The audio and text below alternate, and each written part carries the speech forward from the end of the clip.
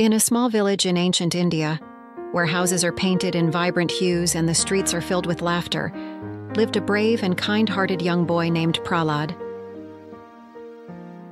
Prahlad's father, King Hiranyakashipu, a towering and arrogant figure, sat upon a majestic golden throne, his robes flowing regally around him. Prahlad, standing tall and resolute, his hands clasped together in prayer, basked in the warm glow of sunlight that streamed through the dense forest, as if magnifying his unwavering devotion.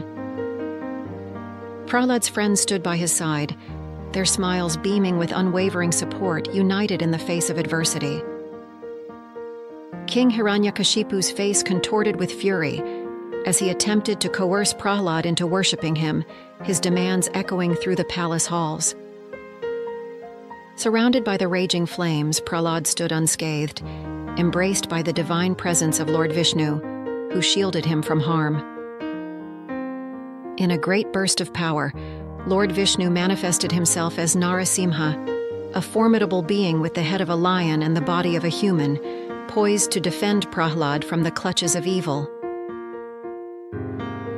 With an earth shattering roar, Narasimha overpowered Hiranyakashipu their struggle symbolizing the eternal battle between good and evil, righteousness and tyranny. The victory of good over evil ignited a jubilant celebration, where people joyously smeared each other with vibrant colors, filling the air with laughter and goodwill. Prahlad, once a young boy standing against tyranny, now an emblem of unwavering devotion, stood amidst a crowd of adoring people united in their recognition of the triumph of righteousness.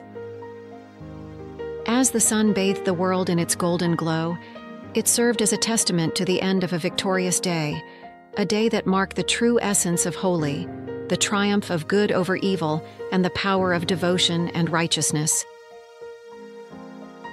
In a final enchanting image, the vibrancy of Holi came to life as children and adults danced, sang, and playfully splashed colors upon one another, celebrating the legacy of Prahlad's courage and the power of love and goodness.